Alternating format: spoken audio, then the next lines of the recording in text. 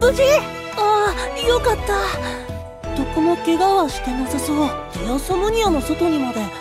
マレウストラコニアさんの魔法の影響が届かなかったのかな。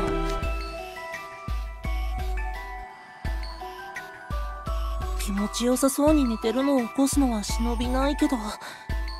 今は緊急事態。まずは無線のスピーカーに接続してっと。大変なことが起きたんだ。起き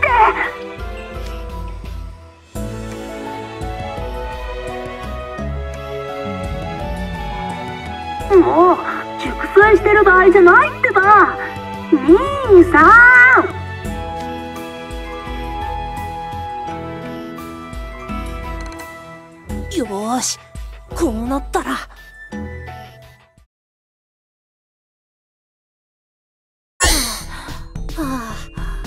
スペアのギアにデータを移そうとしたけどどれも魔導回路がやられててピクリとも動かせない。魔導を使用してない純粋な電化製品は動かせたから部屋にあるスピーカーから大音量で崖もを流したりロボット掃除機を動かしたりしてみたけどどれも一切効果なし！兄さん普段はどれだけ熟睡してても崖物名曲「運命の糸をぶった切れ」をかけたら飛び起きて変な振りで踊り出すのに物を動かしてぶつけたりすることもできないなんて。今の僕ゴーストよりも存在感が薄いよ他に誰か起きてる人はいないのかな。監視カメラをハックして探してみよう。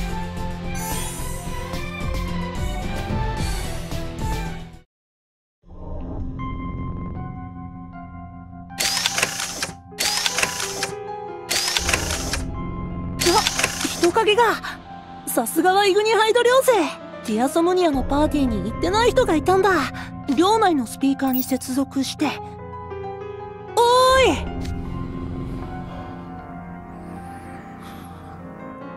ね談話室で座ってる。そこの君たち。ちょっと寮長の部屋まで。あ？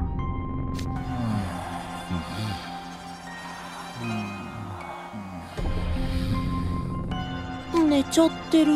もしかしてこの学園の生きてる人はみんなまさかマレウストラコニアさんの魔法の効果寮の外を確かめに行ってみよう。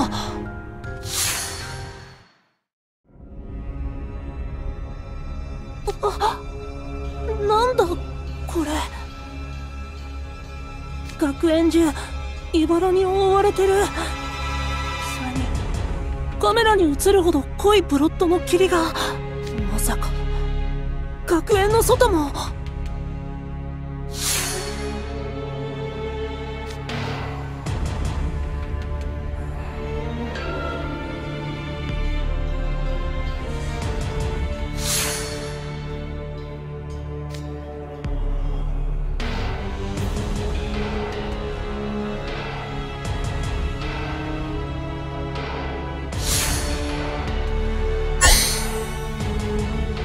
トレイブンカレッジ内だけじゃない。賢者の島の人が全員。う動物や虫や魚まで。全部の生き物が眠っちゃってる。起きているのは僕だけ。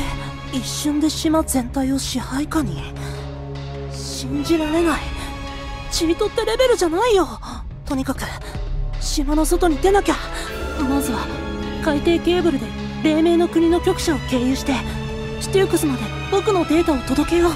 待ってて兄さん。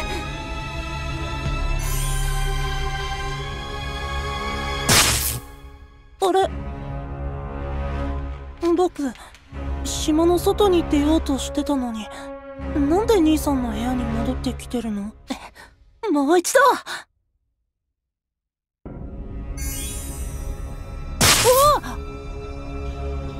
強力なエネルギーフィールドが島を覆ってて海底ケーブル自体に賢者の島から出ようとしても強制的に引き戻されちゃう。まるでこの島全体が外の世界から切り取られてるみたい。ん？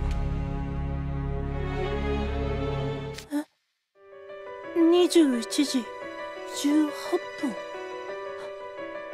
嘘だ！僕がネットワーク上に自分の AI データを全てアップロードするのに30分以上はかかったはずだし兄さんの部屋に来てからもう30分以上は経ってるはず。待てよ。さっき僕が確認した監視カメラに映ってた時計の画像をスクリーンショット。拡大して画像を補正。島中の時計。全部21時18分だ。もしかしてこの島は今時間が止まってる？